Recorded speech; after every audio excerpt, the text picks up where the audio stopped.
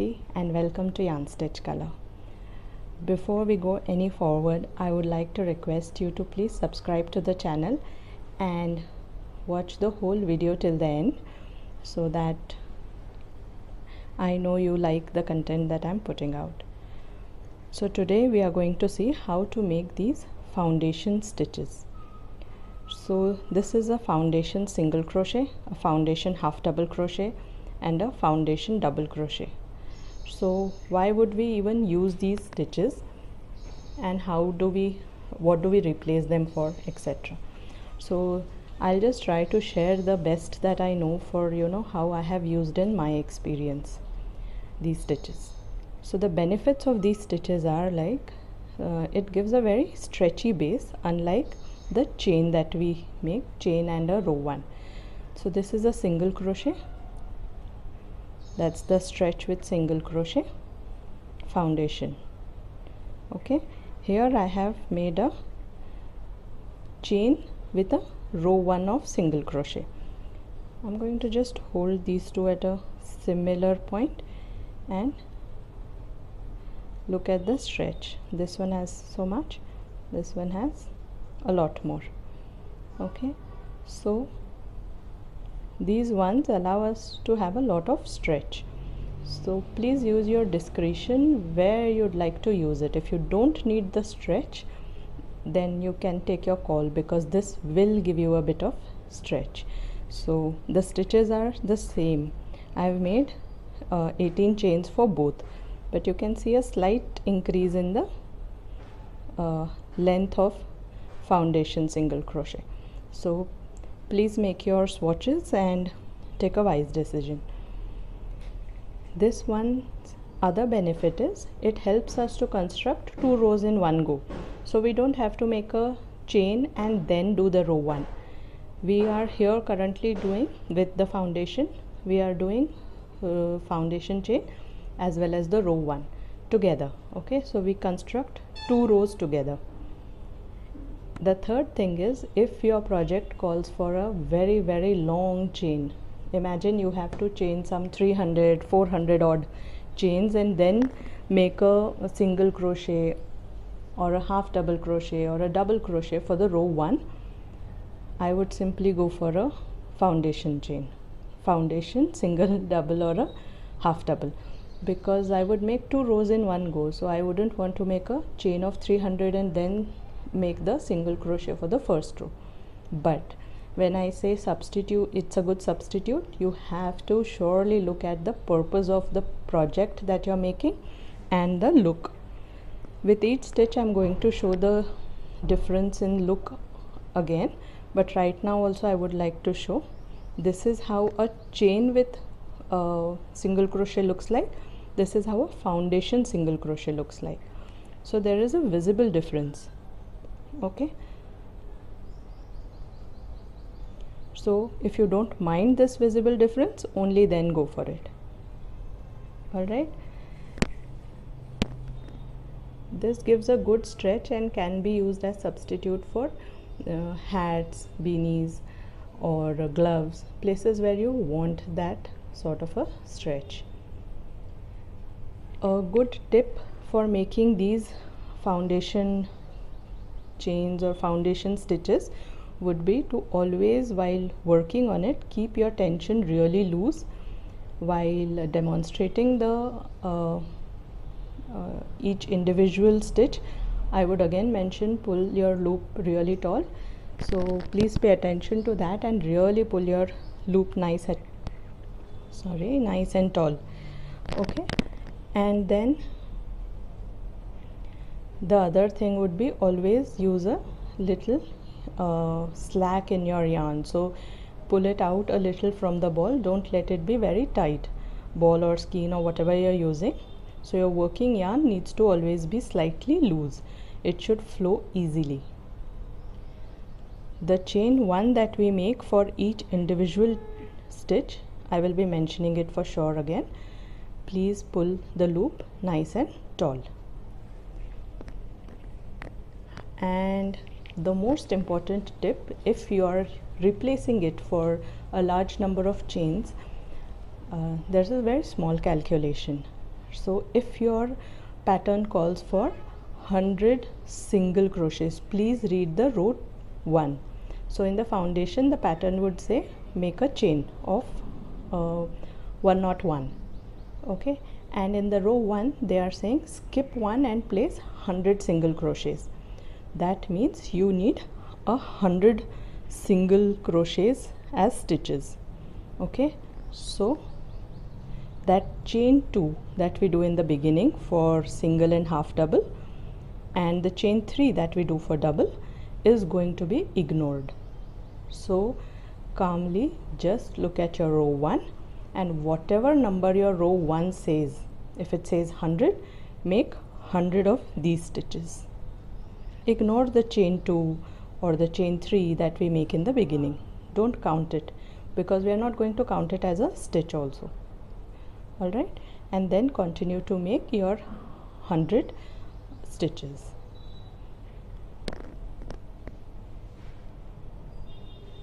So that would be majorly it as a beginner's tip for using or experimenting with these foundation stitches.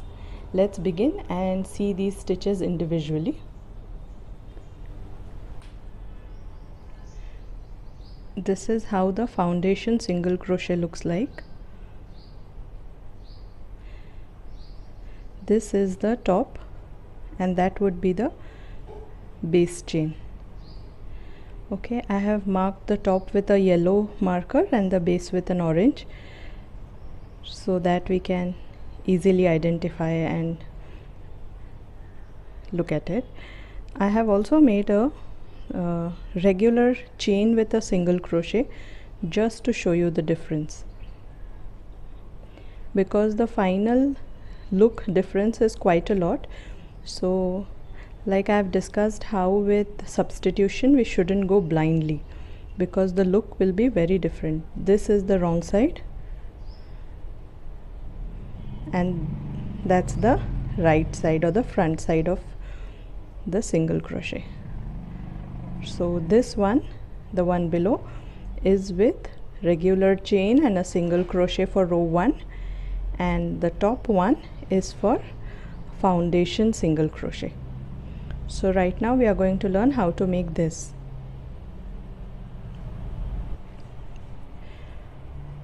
To begin with we will simply make a slip knot and chain 2 that's 1 and 2 now we will insert in the first chain this one. Okay? So you can also look at it as the second one from the hook. So this is the chain where we will insert. We'll do yarn over and pull up. Now we have two loops on the hook. We will yarn over and pull through just one. We are making a chain here. But when we pull we will pull up a nice and tall loop. Look at this loop. Now we will yarn over and pull through both. That's when we are making the single crochet and the chain one part constitutes the foundation chain. Now we will insert under that foundation chain the the foundation chain that we made we will insert under that under both the loops. Okay yarn over and pull up. A nice tall loop.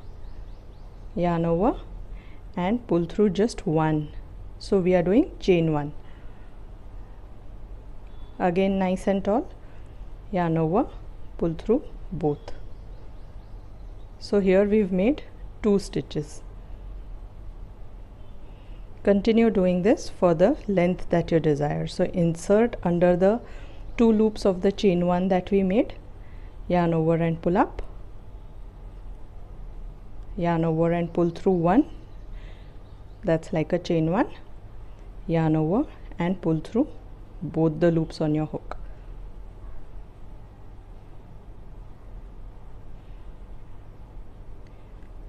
Insert yarn over and pull up. Yarn over pull through one doing a chain one. Yarn over pull through both.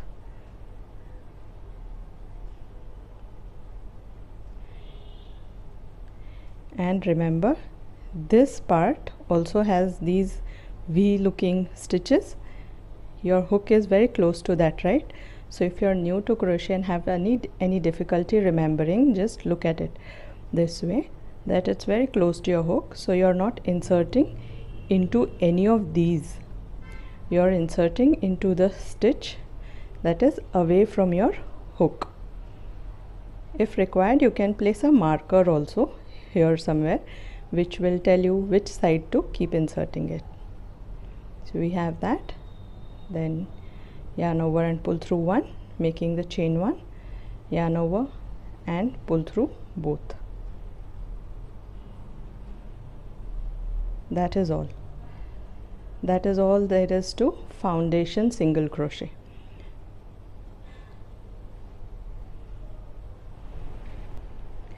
now we are looking at foundation half double crochet. Again the yellow signifies the top and orange shows us the bottom chain. This is how it looks like. And I'll also show you the regular chain with half double crochet. This is how it looks like so there is a visible difference in the design like how they look like. Look at them. This is one with regular chain and half double crochet and this one is with foundation half double crochet. So as I've discussed please use your own judgment of design before using or replacing blindly. Okay now let's see how to make this foundation half double crochet. To begin with we will again have a long tail with a slip knot. And chain 2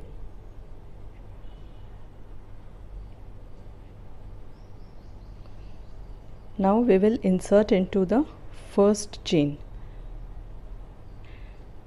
but we will yarn over and insert. It's very close to how we make a half double crochet. It's very close to that. So insert here yarn over and pull up a loop. Now we have three loops on the hook. We will yarn over and make a chain. Okay? This is what makes the difference between you know a regular half double crochet and a foundation half double crochet. So we've made a chain right now. Now we will yarn over and pull through all forming the half double crochet.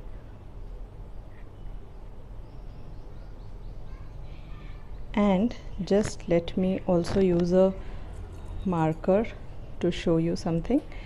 Next row when we start working on it we will surely have a doubt about whether to insert our hook for the next row in the chain 2 part or the half double crochet thing. So we will be marking the first half double crochet with a marker because that's where we are going to insert for the next row to build the next row. Right? Now yarn over insert under the two loops of the chain one yarn over and pull up nice and tall. So if this loop is nice and tall for the chain one then your project or the work is going to be stretchy. Otherwise it will look skewed. So please take time to ensure that this one is nice and tall. And so is this. Okay? Then yarn over and pull through all three. Yarn over insert under the two loops of the chain one yarn over and pull up. Yarn over pull through one making a chain one. Now we have three again. Yarn over and pull through all three. Okay. This is how we form the foundation half double crochet. Continue doing the same thing till you reach your desired length. So yarn over insert under the two loops of chain 1 yarn over and pull up. Yarn over pull through one forming a chain 1 yarn over pull through all three. Okay that's how we continue to make it. And let me show the reverse side of regular chain with half double crochet and foundation half double crochet okay? That's the front. That is this one's back and the regular's back. So there is quite a lot of difference in its look. Okay? This is how your foundation half double crochet will look like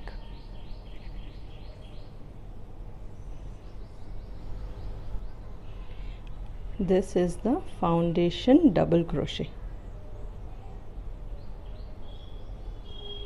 And that's the regular double crochet with a chain and the first row being a double crochet. Okay. That's the back. All right this is the top and that's the bottom now let's see how to make the foundation double crochet. Place a slip knot on your hook and chain 3 okay so 1 2 and 3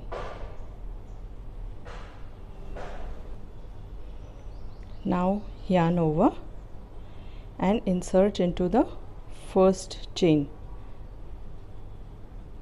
Yarn over and pull up. Okay. Three loops on the hook. Yarn over pull through one. That's your chain one. Yarn over pull through two. Yarn over pull through two. And that would be our first stitch. So we are always going to ignore the beginning chain 2 chain 3 whatever we do we are just going to ignore it not use it for the next row. All right now yarn over. Insert under the two loops of the chain 1 yarn over and pull up. Nice and tall. Yarn over pull through one making a chain 1 now yarn over pull through 2 yarn over pull through 2 that is all. We are going to continue doing this.